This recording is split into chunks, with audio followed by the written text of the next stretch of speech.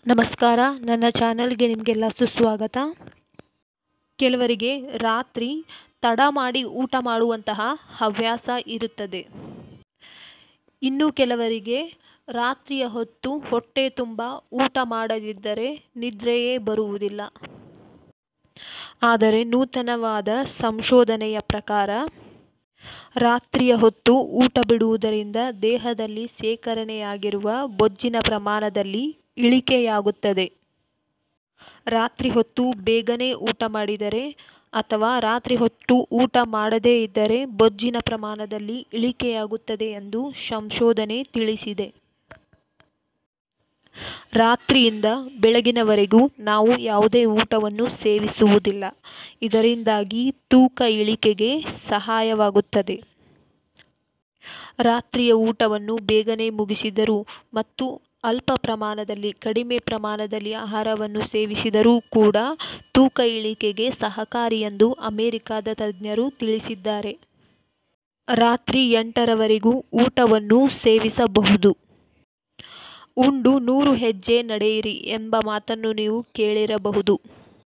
ನಾವು ಬೇಗನೆ ಊಟವನ್ನು ಸೇವಿಸಿದರೆ ಮಲಗುವ ಹೊತ್ತಿಗೆ ನಾವು ನಮಗೆ ಗೊತ್ತಿಲ್ಲದೆ ನೂರು ಹೆಜ್ಜೆಯನ್ನು ನಡೆದಿರುತ್ತೇವೆ. ಕೆಲವರು ರಾತ್ರಿಯ ಹೊತ್ತು ತಡವಾಗಿ ಊಟವನ್ನು ಸೇವಿಸುತ್ತಾರೆ ಮತ್ತು ಹೆಚ್ಚು ಊಟವನ್ನು ತಡವಾಗಿ ಸೇವಿಸುತ್ತಾರೆ. ಇದು ಕೊಬ್ಬು ಹೆಚ್ಚಾಗಲು ಕಾರಣವಾಗಿದೆ ಎಂದು ಅಮೆರಿಕದ ತಜ್ಞರು ತಿಳಿಸಿದ್ದಾರೆ. ದೇಹದಲ್ಲಿ ಹೆಚ್ಚಿನ ಪ್ರಮಾಣದಲ್ಲಿ ಕೊಬ್ಬು ಶೇಖರಣೆಯಾಗಿರುವವರು ರಾತ್ರಿಯ ಹೊತ್ತು ಊಟವನ್ನು ಬಿಟ್ಟಾಗ ಕೊಬ್ಬು ಮತ್ತು ಕಾರ್ಬೋಹೈಡ್ರೇಟ್ಗಳು ಕರಗುತ್ತವೆ. ಇದರಿಂದ ತೂಕದಲ್ಲಿ ಇಳಿಕೆ ಕಂಡುಬರುತ್ತದೆ. ನಾವು ರಾತ್ರಿಯ ಹೊತ್ತು ತಡವಾಗಿ ಆಹಾರವನ್ನು ಸೇವಿಸಿ, ಅತಿಯಾಗಿ ಹೆಚ್ಚು ಆಹಾರವನ್ನು ಸೇವನೆ ಮಾಡಿದರೆ, ನಂತರ ತಕ್ಷಣ ಮಲಗಿಕೊಂಡರೆ ಅದರಿಂದಾಗಿ ಆಹಾರವು ಬೇಗನೆ ಜೀರ್ಣವಾಗದಿರಬಹುದು. ಸೊ ಅದಕ್ಕಾಗಿ ರಾತ್ರಿ ಹೊತ್ತು ಊಟ ಬಿಡೋದ್ರಿಂದ ಅಥವಾ ಊಟ ಕಡಿಮೆ ಸೇವಿಸೋದ್ರಿಂದ ಅಥವಾ ಊಟ ಬೇಗನೆ ಸೇವಿಸೋದ್ರಿಂದ ನಮ್ಮ ದೇಹದಲ್ಲಿರುವ ಬೊಜ್ಜು ಕಡಿಮೆಯಾಗುತ್ತದೆ.